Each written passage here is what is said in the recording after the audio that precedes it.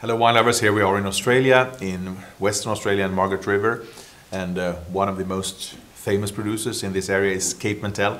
This is the Cabernet Merlot from 2014. And um, I think this is a nice nose displaying the, the moderate climate we have here, blending red and dark fruit aromas with uh, notes of red currant, cassis, dark cherry, with a quite discreet oak aging. There's a slight hint of uh, herbal spiciness with a touch of bay leaf.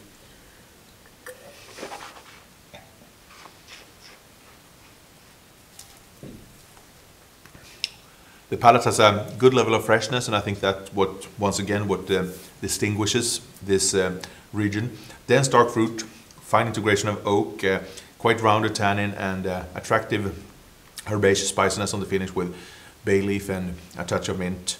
Uh, attractive wine that drinks really well now and will, uh, for the short term aging, I think this will keep for another four to six years. So, fine example.